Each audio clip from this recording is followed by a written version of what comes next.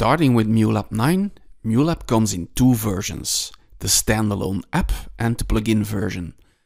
The app version is a standalone DAW and the plugin version is to be used within another DAW.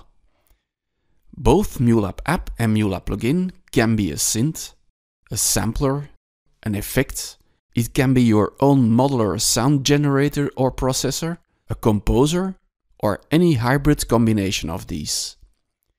Both MuLab app and MuLab plugin use the same project file format. So a project made with MuLab app can be opened by MuLab plugin and also the other way around. Also sounds and effects saved within MuLab app can be opened in MuLab plugin and also the other way around.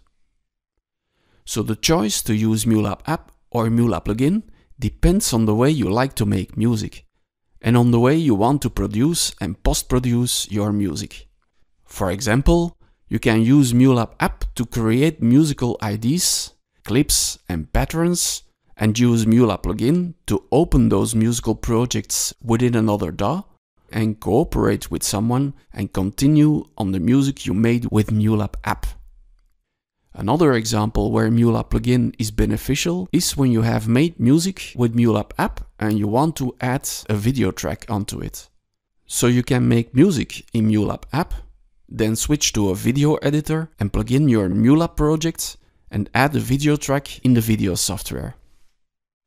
MuLab app and MuLab plugin are basically the same, just some small differences specific to the app or plugin version.